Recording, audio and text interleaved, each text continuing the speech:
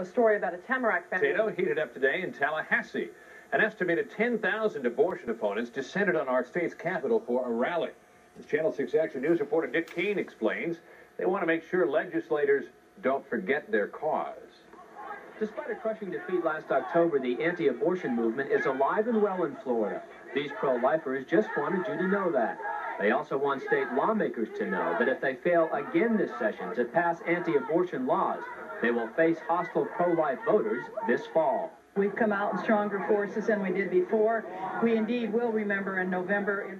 The march attracted thousands of anti-abortion activists from around the state, but only about a dozen pro-choice advocates were there.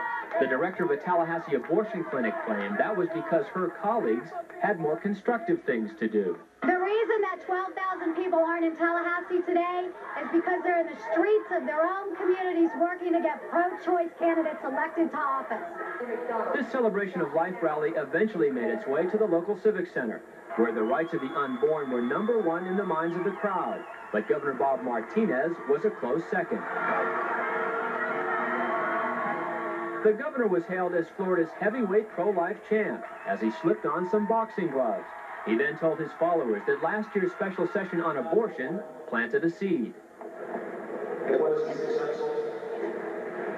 It didn't get out of the way. But I think he had hearts of people around the state Organizers were hoping to fill the Tallahassee Leon County Civic Center to capacity, but they didn't quite reach that goal. However, they were very pleased with the turnout, and they say it proves that their movement is growing.